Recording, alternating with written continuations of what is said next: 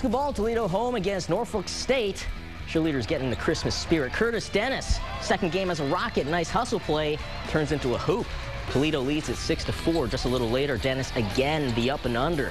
That's pretty nice too. 8 to 4. Toledo doubling up Norfolk State. Next possession, Rian Pearson open in the corner for three. Early start looked good, but Norfolk State got the last laugh. They edged the Rockets 72 to 70.